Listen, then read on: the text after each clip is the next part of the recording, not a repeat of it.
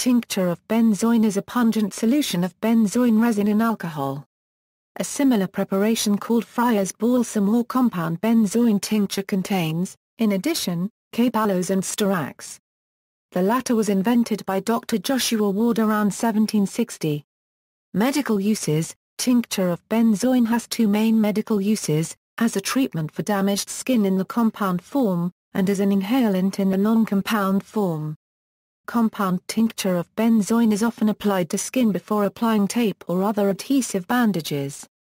To some degree, it protects the skin from allergy to the adhesive in the tape or bandage, but mostly it makes the tape or bandages adhere much longer. It is also used by athletes for its reputation of toughening skin exposed to the tincture. Orthopedists applying a cast often spray CTB in an aerosol can onto skin before casting, as it protects the skin under the cast, and diminishes itching. It can be applied to minor cuts as a styptic and antiseptic. As plain tincture of benzoin, it is also used as an oral mucosal protectant, for recurring canker sores, fever blisters, and the like.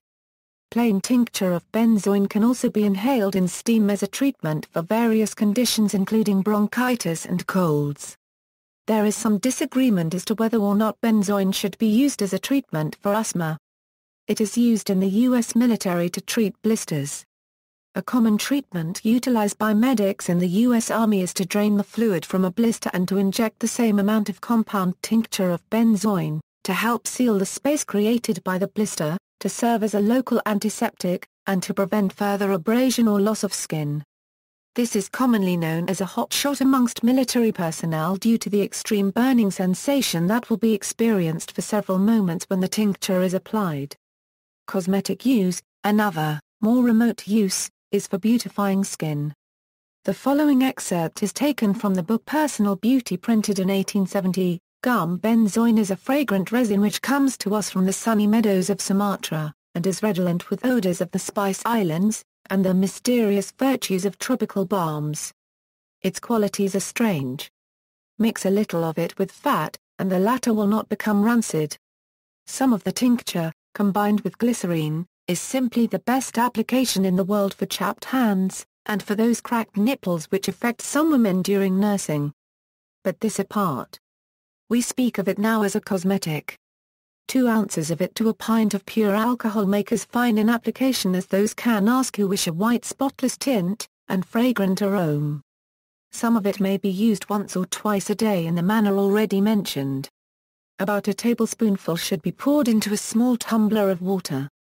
It changes the water to a whitish fluid, which is known in France as lait virginal, virgin's milk, and is highly and justly esteemed. None of the cosmetic washed is more agreeable. Some glycerine can be added to the water if desired. Toilette Rank and Fashion stated, in 1837, virgin's milk is compounded with tincture of benzoin and rose water. It is prepared by simply adding a few drops of the former to an ounce or two of the latter, which produces a milky mixture. If the face is washed with this, it will give it a beautiful ivory color. Let it remain on the skin without wiping. The American medium Edgar Cayce stated, to one tablespoon of melted cocoa butter add, while it is in the liquid, compound tincture of benzoin, rose water.